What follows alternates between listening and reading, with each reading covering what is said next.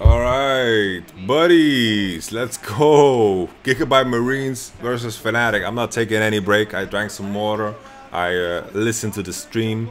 I'm uh, gonna do it live once again. Let's just take a look at the draft. Let's just head right into it.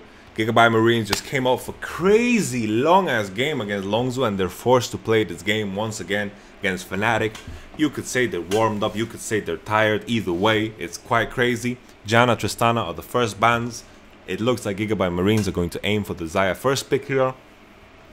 Let's see if Fnatic are going to ban Rakan last here to make sure that the Xayah first pick is not that great and uh, Fnatic can line themselves up for the better AD pickup. Instead, Galio is out. I'm not sure if Jarvan ban is the correct ban to do against Gigabyte Marines. Let's be honest, like Gigabyte Marines don't give 10 shits about Jarvan. They couldn't give a flying, flying pig you know, they don't care. They really, really don't care. And uh, they would much rather just play a Kayn. You I, like I would ban the Kayn off of Levi even. Like I would just straight up ban Levi Kayn and I would be happier in that scenario. So let's see now what Fnatic can pick with this Rakan. Tristana is out. Twitch is something that we saw a couple of times together with Rakan. Not too big of a fan. Uh, a big thing here with uh, with uh, with setting up this scenario for themselves. You know, the problem with the Janna ban for Gigabyte Marines is that the support that is the best support together with Xayah, or if let's say Gigabyte Marines first pick Rakan, it also puts them in a scenario where, you know, let's say the scenario Fnatic put themselves in is that they if the enemy team picks Xayah, we pick Rakan. If they pick Rakan, we pick Xayah. And either way, they're going to be fine, right? Either way, they're going to be fine. And then picking second, the other role is going to be like beneficial for you. I'm just curious about what support they're going to go into Rakan. We've seen Morganas. We've seen, uh, like, I think Lulu could be fine too. I think Lulu, like, you could just pick it. But Lulu, Xayah is a lane matchup. We've just, we just haven't seen this. And I'm curious to why. Like, sure, they don't have any synergistic kind of capabilities together like sure she's just an AD carry and a Lulu support right? You don't have to synergize much more than that uh, to be useful. Do I have some marks on my nose? It looks like it. I don't know I'm just scratching my nose a lot. Okay so Fnatic leave their AD carry pick for a very late part of the game uh, or the pick and ban phase at least Gigabyte Marines are going for like the, the Lulu and the Xayah and the and the Kayn. Pretty standard picks for them. Syndra is something that Fnatic showed up uh, showed with uh, a lot of times that was banned in the game against um, Immortals. Then we saw Cassiopeia, and I felt like the Cassiopeia, sure it was clutch and won the game for them, but I feel like Cassiopeia is not the greatest pick in the current meta. Rek'Sai is also something that uh, Brox has been playing a lot. Uh, he just uh, prefers it over the Gragas it seems, and uh, Rek'Sai should be able to do quite fine into the game uh, in the skirmishes. Varus is ban number one. Let's see what other ADs that Gigabyte Marines might ban. I think Twitch is going to be their ban. Twitch is the one that uh, Rekkles has played and uh, other teams have played together with Rakan, so it's a very hard scaling bottom lane and uh, definitely has a lot of potential to carry a lot of games. Instead it was a Gnar. Seems like they're very happy to play into Twitch here and uh, to be honest with the success rate of Twitch, Twitch and Rakan in bot lane, I think it's understandable. It's completely understandable. This is a bot lane that's going to get perma pushed in, right? It's going to get perma pushed in and uh, is going to run into those type of troubles. We have Taliyah and Kassadin uh, as bans against Sin for Syndra, and then Fnatic are going to last pick top lane here. Let's see if uh, Soaz is willing to pick something like um, the Trundle. If he's willing to pick, pick the Trundle and play it and uh, pick it into a tank, or what does he have in store for this Urgot? Because 100%, 100% they were prepared for this Urgot, right? They saw it in the previous game and I think Soaz said, ah, I will just play this into this, you know? So I'm curious as to what he will show up with against the Urgot. Maybe a Jax. I think Jax could be good against it. I think Shen was fine against Urgot. Okay, and that's a Corki. We got this full, all out like this um, kind of uh, AD carry composition. I guess Cho'Gath should be fine too, right? At least they have the Rakan this time around, so they have some engage to play around with, so Cho'Gath is not that bad. But it would be quite hilarious if Fnatic lose this game uh, with Cho'Gath in their hands. You see Soaz is kind of uh, hesitating here. No, I'm just kidding. I'm just kidding. Like, uh, Cho'Gath is not as bad as it's been in other games here. Because they do have a Rakan, they don't have a Ryze mid lane. So Gigabyte Marines, they have a kind of a strange composition. They are uh, pretty strong in the range kind of um, part of the game. They can clear waves. Uh, they lack engage, so it's very important for them that they uh, get this Urgot ahead and uh, play on the side lane to get a lot of pressure because I think uh, Syndra can easily clear the waves that then that Gigabyte Marines can gather towards them. So that's going to be a problem for Gigabyte Marines. Let's see now as we head into it. Gigabyte Marines, they have composition where they have a lot of strong lane matchups. They have uh, the Xayah Lulu against Rakan and Twitch. That is going to be a win for them. Corki into mid, Syndra. Syndra wins early and then Corki scales well into the lane. Kayn loses early against Rek'Sai, but then he scales very well into the matchup think this could be a great game for uh, the Red Kayn. What's it called? I don't care what it's called. The Red Kayn. Everyone knows what the Red Kayn is. Red Kayn. And um, he can heal a shit ton. Like he can heal so much. He can heal crazy amount of HP by just ulting the Cho'Gath. He can just Q the Cho'Gath as well. And he can heal him for crazy numbers. So he's going to hope that he gets the freaking red uh, upgrade here, I would imagine. You know, the Shadow Assassin is not that terrible either, right? He can just aim to maybe snipe Rekkles, which is going to be a key target, but that is a hard thing to do when Rekkles is the one opening, you need to get to him, and if Rekkles is positioning well, then it's going to be a difficult thing to do. The main thing here is that this enemy team is like a party for Twitch, you know, he loves playing against a team like this, full of squishy targets and not a lot of hard CC! Whoa! what the hell? Holy moly!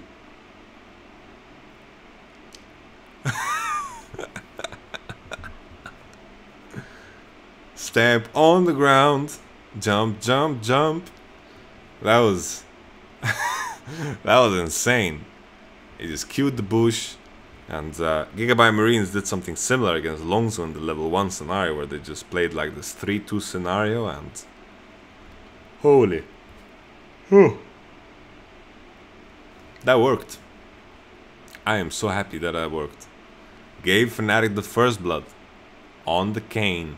Yeah, it's gonna give him that fast Ardent Censer and all of a sudden, you know, this Fnatic just straight up copied Longzhu's strategy. Straight up like Longzhu, what you're doing is great and Gigabyte Marines, just because they played instantly against Longzhu, they didn't have a time to adjust. Like they played a fucking one hour game. Like what, what do you think the main thing that went through their mind is like, yeah, the level one was pretty bad. Like Longzhu had a good level one. That is not the thing that you take away from a game like that. So that is where the fact that Fnatic is playing Gigabyte Marines instantly after that match is a big deal. And uh, Fnatic, of course, they need to beat Giga Marines twice, so they can't pull off this cheese the next time. Uh, we can see that uh, Fnatic are going to go into uh, a tiebreaker if they win this one. Going to go into tiebreaker if they win this one. Uh, I don't know how the system works or how the game time works or who is going to be tiebreaking against who. Uh, Levi is now in a position where the map is split in half he is happy to do so because he managed to get the camps on the enemy's top side, so he's completely happy with the situation. He's not afraid at all. He's going to be able to also heal up on the crab if he wants to, but it looks like he's going to head into base and not waste any time uh, pondering around with low HP, which is also understandable, you know, like doing full topside clear into into like doing topside clear, meaning Raptor red into golems, is something that costs a lot of HP. And the benefit here is that Broxah didn't take the enemy golems, and he did. So in theory, Levi is going to be one camp ahead here, and uh, he's going to have uh, a quick raptor spawn on his side and he's going to be satisfied with the situation. Like by the time Levi is finished with the top side camps, he's going to walk towards his raptor camp and he's going to uh, basically contest it and be fine.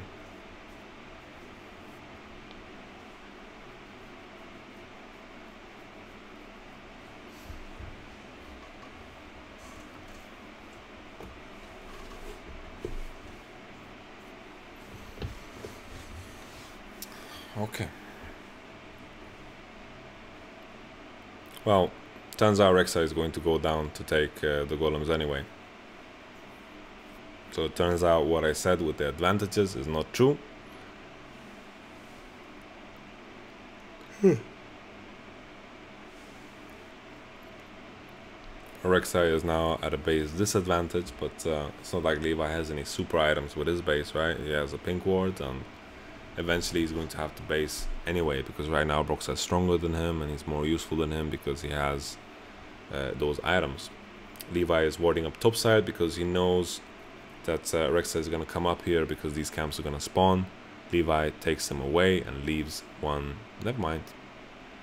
Spots the Rek'Sai, so he just decides to take it away anyway. And now we're in a genuine situation where Levi is ahead.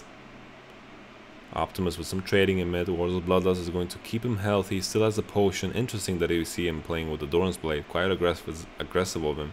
Usually we see corrupting potions because that works well with your teleport. But uh, this time around, it's a Doran's Blade. So he's aggressive player. Can Archie even die here? It looks like it. No flash from the level 1. I completely forgot about that. You know, I saw it I checked, you know, when I asked myself if he can die here, and all of a sudden, you know, he just he just gets killed straight up. Crazy stuff, crazy stuff. Very, very meaningful. Good timing for the kill. Uh, Cho'Gath is in a very happy position in the lane phase. He didn't need to push out. The wave is freezing uh, towards him. And right now, Archie is in a weird position where he needs to push out top, needs to take a risk, but Soaz is deciding to save his TP. So instead of TPing top and pressuring Archie to uh, take a risk here to push in the wave, they're instead just saving the TP and letting Broxah farm out his golems and uh, be happy with it. The main thing here is that I haven't seen TP being used for incredible things in a lot of these games and uh, maybe it's just a mistake to do so to allow him to push in because Broxah is coming from such a good angle. Uh, big difference here now though is that the flash is coming off cooldown now for Archie. Optimus has TP backed into mid lane and uh, it seems like Caps is unscathed so he Caps did in fact get a good base so he's uh, happy with the situation that happened you know. He uh, he controlled the TP situation up top very well. And now is the big problem with uh, Rek'Sai red side right? People are scared of this and uh, for a for a good reason because the red side ganks are insane for Rek'Sai you know he has so many angles to work with right? If we take a look at uh, you know he can e over this wall. So he can come into all these angles and he can get there you know he can get into this position from so many angles too right? In this case like he went all the way around and into top side and it turned into an issue right? It turned into a big issue. Question was question is like what did Levi do during all this time? So his wolves were taken away. Levi was in base. It's Levi took Raptor's bottom side. Oh, this was the replay. This was the replay. Levi is in base, walking towards top side. He just wants to casually take his wolves, but Broxah is ahead of the curve. It's hard for me to analyze the situation because of the replay, so I'm not too sure what to say about it.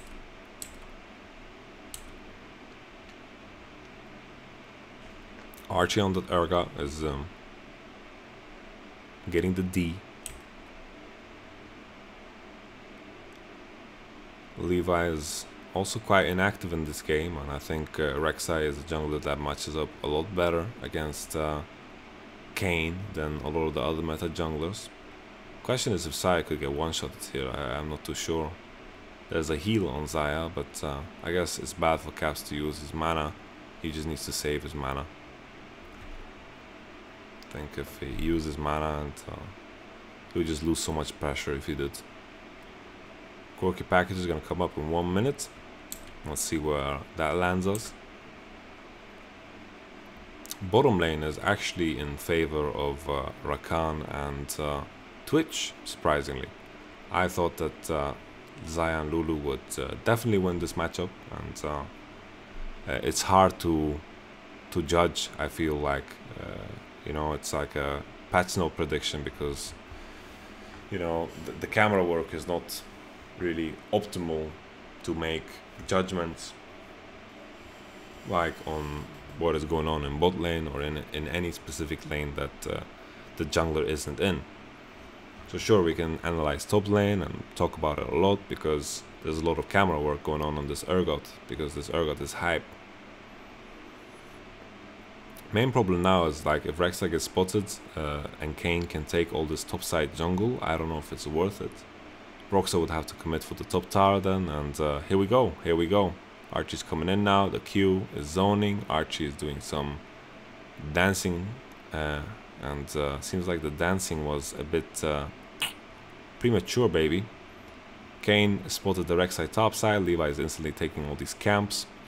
So he's gonna get like a total of what is it 200 gold here with all these camps and uh, it's a big deal you know it's a, definitely a big deal he could take more if he wanted to and uh, it seems like Fnatic are just going to equalize by taking the blue. They're not committing to any topside play.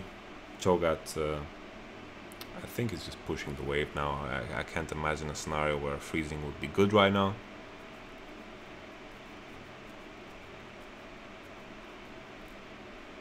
I thought, uh, genuinely thought that Fnatic would commit for the play where they just hit the top tower. But uh, this delayed version of it is also completely fine, right? Because Urgot walking top now is going to be a danger.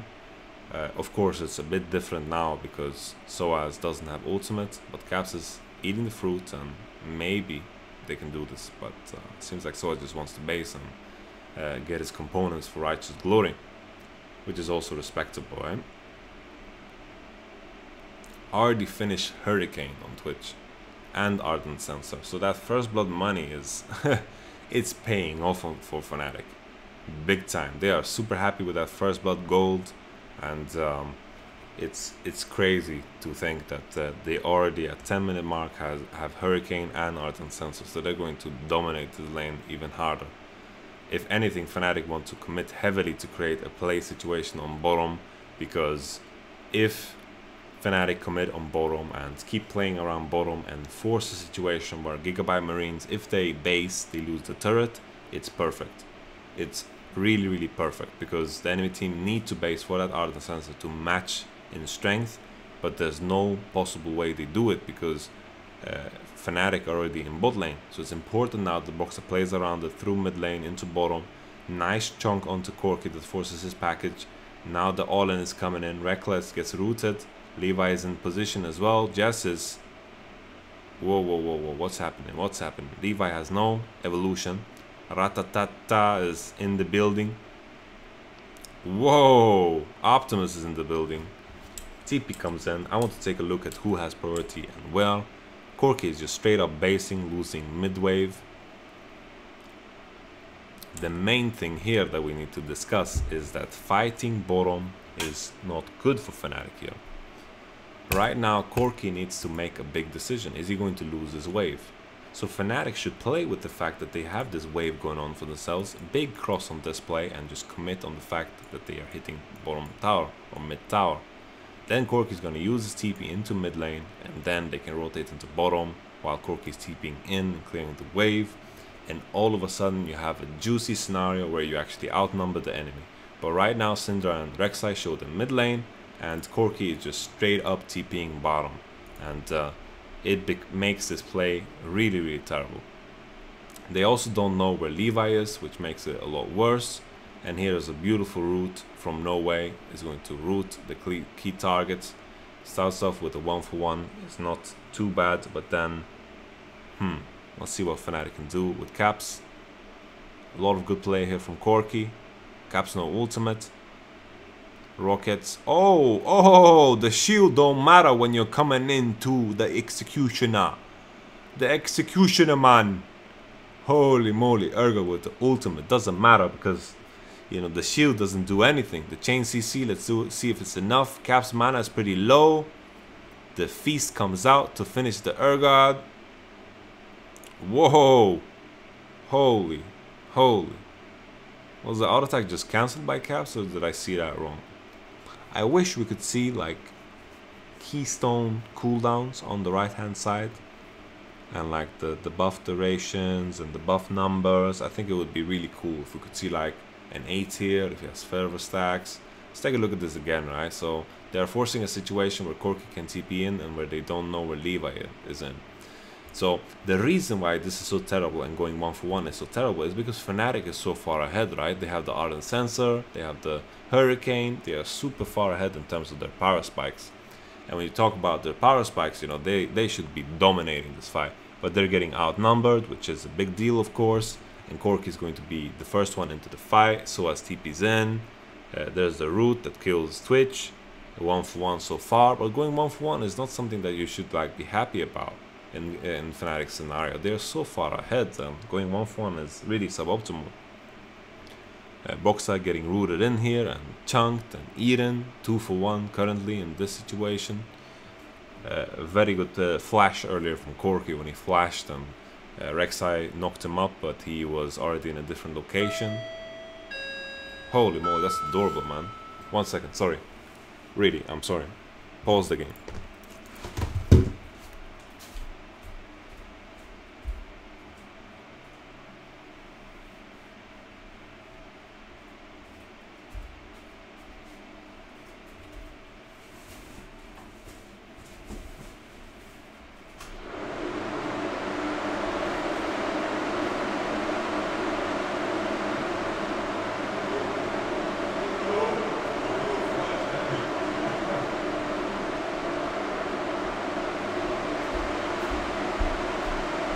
You guys hear how loud the sound is? There's like some ventilator thing going on.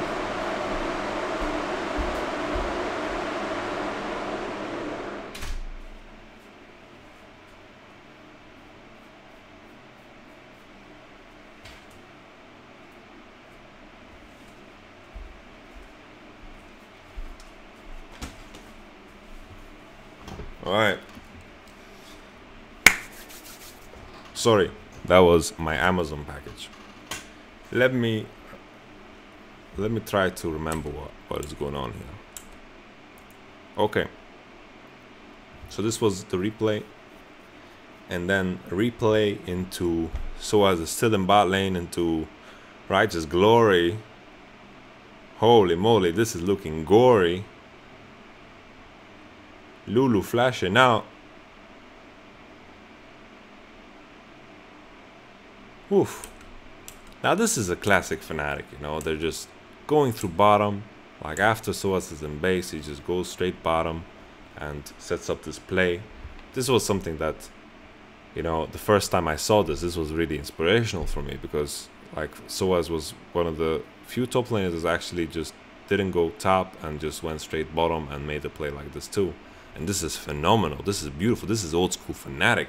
This is looking like something. This makes me very, very happy.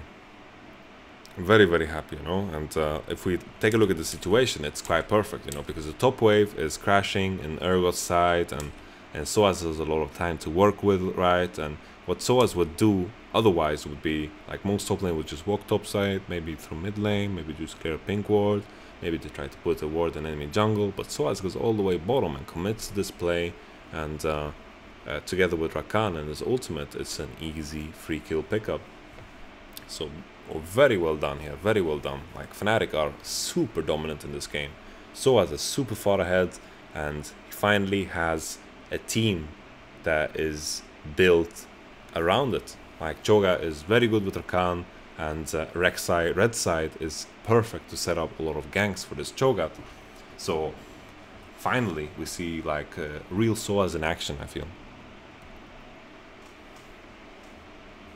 At least on uh, the real a real Cho'Gath game, so to speak, not the last times we saw it. Ocean Drake, really OP in lane phase, but uh, we're out of lane phase, so it uh, doesn't matter that much. You know, if you shoot the crab while he, he's eating your fruit, you stop him from eating your fruit. So Optimus is obviously he hates animals.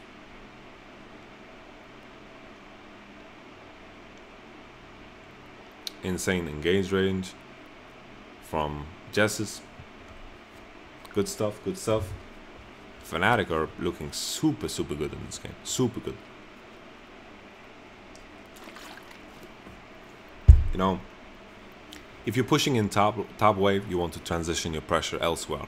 If the top wave is already pushed in without you being there, then you should go elsewhere and try to do something else because you have a lot of time to work with. And then you can use this to make a tempo swing and tempo advantage. And right there, you know, Fnatic go first tower, they go two kills, they caught the enemy off guard. They also were tempo uh, ahead in tempo. Like even in the case where the enemy team was aware of this and they ran away from the turret, right? It would still be a good scenario. It would be like a reverse lane swap, you know, and uh, uh, Fnatic would get first tower regardless of the scenario there. So it's uh, definitely very positive. And the bottom tower is so much more worth than the top tower when Rift Herald is open because what you want to do anyway is you want to put your bot lane top side and you want to play for that top tower and if the enemy team is sending their bot lane top side and there's no top tower for, to play for, then there's less objectives to play for. So inherently, the top tower is less valuable than bot tower because when Rift Herald came in and was introduced to the game, it just had more value to it. The same thing with top tower whenever Drake was the only thing, the only objective that was relevant in the game, then uh, that was the case too. That bot tower was just less, was like less valuable because the objectives were around that turret anyway. The top tower was like the hard tower turret to break. But in this case, you know, Fnatic are just uh, basing now on Rekkles to see what he buys. Just Tabi Ninja. Ninja Tabi is insane here against Gigabyte Marines, you know. Ninja Tabi works at against every single champion here against they, it works against Lulu too, but that doesn't really matter. But it works against Urgot very well, against Corki very well uh, against uh, the Shadow Assassin as well. Uh, crazy stuff. The the Q from Cho'Gath wasn't the best here. Well, it was. It could have been the best because you know what happened here was that Caps cancelled the Q of Levi, and then Levi had to flash, and then in a case where Levi actually queued there, then he 100% would have been hit by the Cho'Gath Q. So this was like miscommunication, but this is something that you don't really communicate about. It's like well, how are you gonna say it in that split second? Oh, I'm gonna queue, I'm gonna queue over the wall. You know, it's really, really inefficient, right? So this is just about intuition, and uh, you could argue that both plays can work out fine. But to be honest, the main thing with Kayn is that when he queues over wall, his animation, it can't be cancelled by anything. So he would have been hit by that Cho'Gath Q 100%. So that would have been juicy, and then Caps could have followed up the same thing with uh, like if if Cho'Gath Q was used instead to follow up on Syndra, it would have been better. But I think uh, after thinking about it, I think Soaz's play is better and more guaranteed that uh, it will be a kill. In fact.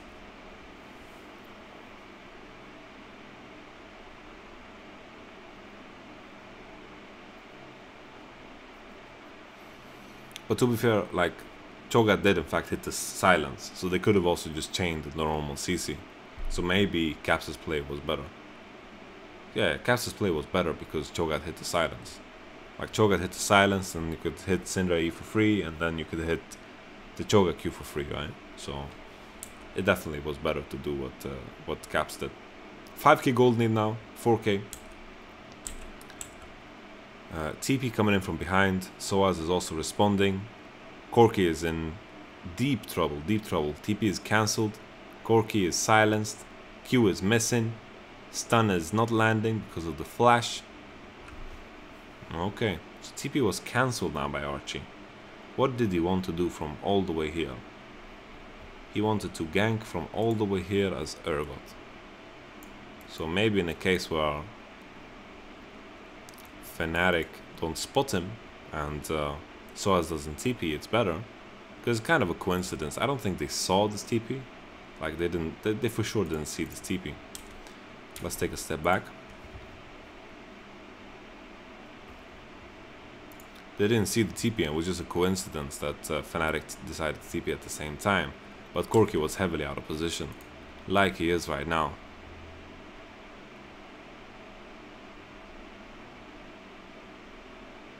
Holy.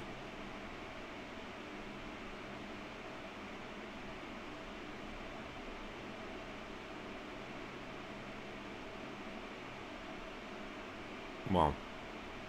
Okay, so they get the kill, use the Rift Herald, mid turret, second tower is very low. Caps has both summoners, doesn't need to be afraid. Kayn still with no form upgrade. Now this is a sad Kayn game.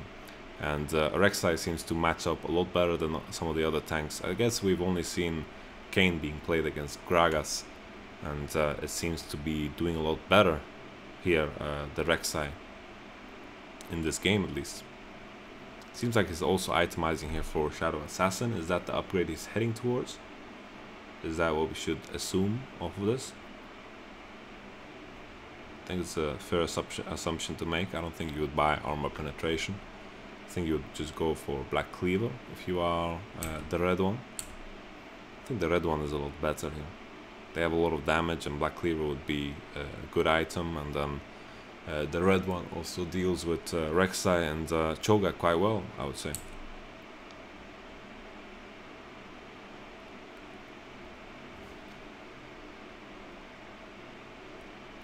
Is Levi just committing? Maybe he has his upgrade already and he's just waiting for Shadow Assassin.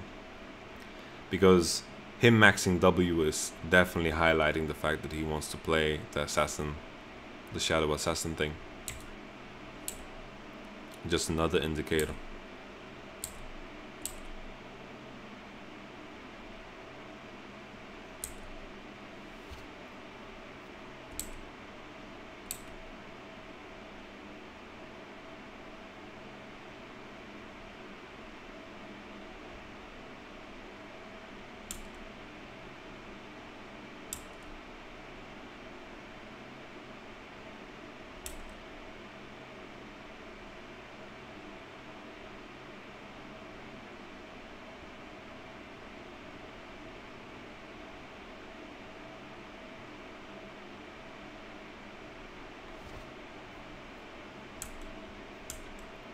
Okay, let's take a step back.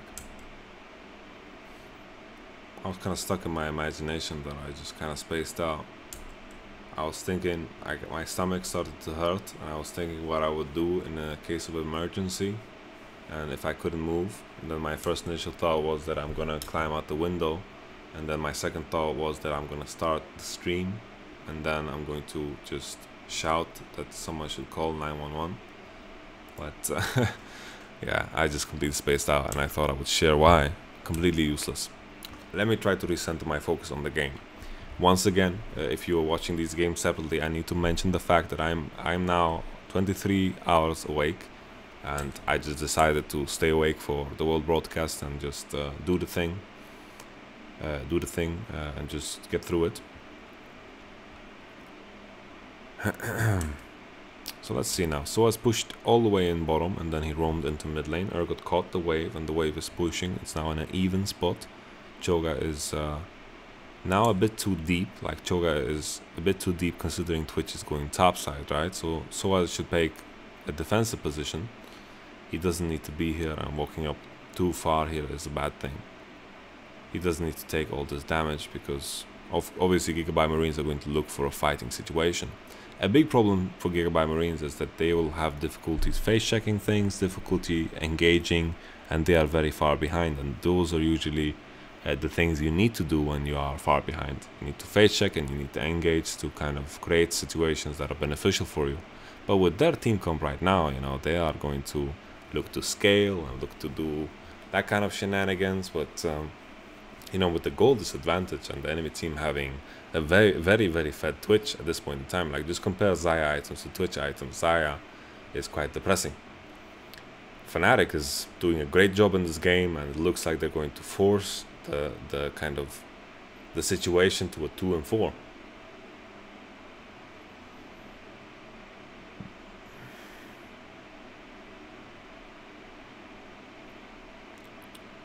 Caps has no ultimate. I'm Rekkles after pushing top tower, just grouping up to take an objective. Nothing more for him up top lane. Twitch is now on the side lane. Caps is just taking the waves all by himself in mid lane. He's getting some assistance from from Jesiz, but I don't even think he needs it because who, who's who's gonna engage on him? It's just impossible, completely impossible to engage on this Caps with this team comp. Like, how do they get to him? let's see if Kayn manages to get a form. That could be away. Oh, there we go. Speaking of killing caps, here it comes. Oh, the sneaky Vicky rocket. Is this is this Nash? This could potentially be Nash for Fnatic. They could tank it for a long time without taking damage. They have the Twitch for DPS. Yeah, it looks like they're heading straight to National. There's no flash on Gigabyte Marines. Like I was talking about how Syndra cannot die. Sure, if the enemy team flashes after her and goes all in on this, sure, she can die. Archie has a flash. Let's see how we can use it. Broxah misses his knock up. Not a big deal though. Not a big deal though. I just realized what I said, but everyone knows what I really meant. Yeah. Let's continue. Fnatic, like uh, Caps is trying to go into bottom, but uh, the main thing here is that he can't really take the aggressive path that he wants to take. Like looking at the vision of Fnatic, they are blind in this area, blind in this area. He wants to take a path here. He wants to go here, and uh, it's not really possible because of the blindness here. It's uh, Elton John goggles, completely blind. Oh. And um, in this type of scenario, either he should get support from the bot side to go through here, or when the enemy team, like when the team, uh, like Fnatic, like Fnatic in their position, they should have vision here. They should have vision that supports the walkthrough here for caps. Otherwise, caps should usually take the more defensive approach, which is all the way around, right? Uh, even though the situation ended fine, usually you don't want your mid laner to die like this. Archie with some magic managed to uh, stop the Baron, which is important to highlight. I thought this situation would give them a free Nash, but with the TP of Archie up into top wave, it kind of baited Fnatic away from it, and Archie managed to survive. We have the Righteous Glory finished on our dear Urgot, and he's also built up quite the CS differential for himself, because Soaz has been ignoring bottom to group up and to create pressure maybe a bit too much, but uh, it's better too much than too little.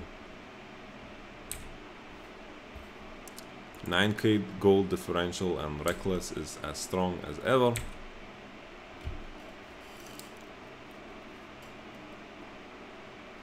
He's also quite tanky, you know, that's what makes it a bit extra crazy, is that he's quite tanky, you know, he's Ninja Tabi and he has Phantom Dancer and he's in no way like squishy.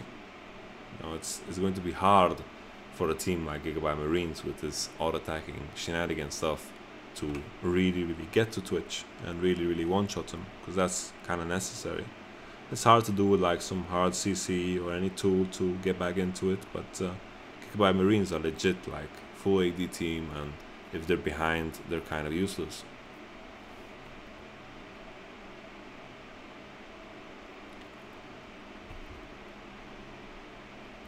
It's just a stomp. I wish this game was a bit more competitive, but uh, Gigabyte Marine, their their composition leaves a lot to like leaves a lot to the desires, you know. And, uh, Fnatic are just going to take it home. They're going to make this group into a tiebreaker, it seems. Immortals match up against um, the Longzhu gaming team that they have in the group is uh, also going to like sure if Longzhu win that game uh, all of a sudden there's no tiebreaker and they get three points and this end the route with 3-3 and uh, that could be also like uh, it could just seal the fate right there too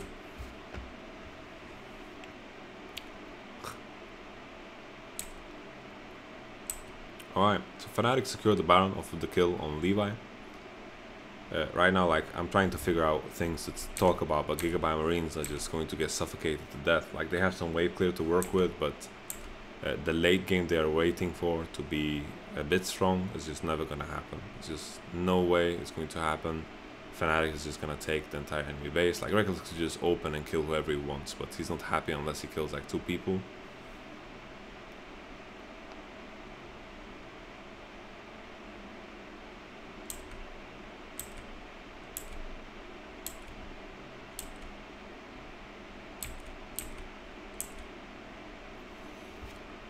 Cool, Infernal Drake. GA as well on Twitch. like he's super tanky. he has so much armor. Randuin's Omen is such a fantastic buy because it works against uh, the Corki as well. It's a fantastic buy in this case.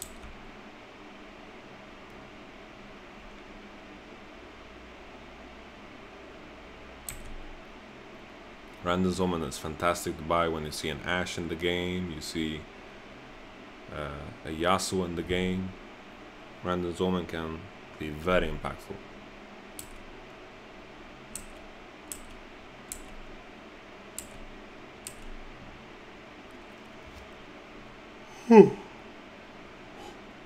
excuse me, excuse me. Sorry. So I was just walking in there, getting polymorphed. Doesn't land, so it's taking a lot of damage, doesn't seem to care. Whoa, good knockup, good knockup. The game is over. Game is over. Uh, it was sealed very early on. Very impressive that Fnatic's bot lane actually won the lane in this matchup. I don't think they're supposed to. Uh, I don't think they're supposed to win this matchup. And this puts Fnatic in a scenario where they are 2-4. Uh, they're looking for Longzhu to beat Immortals. So Immortals get 6-0 and the rest of the group is 2 and 4. Crazy stuff, crazy stuff. Like uh, they're all 2-2 against each other and uh, everyone beats each other once. It's going to come down to game time, how the tiebreakers will pan out. I think uh, uh, we will have to see. I think people we we will figure out how the tiebreaker is going to be played out before you see this vote anyway. So I don't need to speculate. So uh, we're going to head into that match. This game was, you know, looking at it, the camp on top side really worked out. Cho'Gath was very far ahead. Rek'Sai was very far ahead, and then the fact on top of that that Twitch you know, Rakan got first blood with that insane CC chain uh, uh, level 1 when Cho'Gath queued into the bush. Rakan getting first blood gave him the opportunity to buy Ardent Censer very early on. Ardent Censer and uh, Twitch with his Hurricane made bot lane too strong and they were already ahead. And all of a sudden, Fnatic have all winning matchups. Syndra just pushing her waves in mid lane, and Corki can't do much about it. And, uh, you know, that was the situation. Gigabyte Marines had very little tools to come back in the game. Like it was close to impossible for them to come back into uh, the game, and that pretty much settled it. Uh, see you guys in the next game.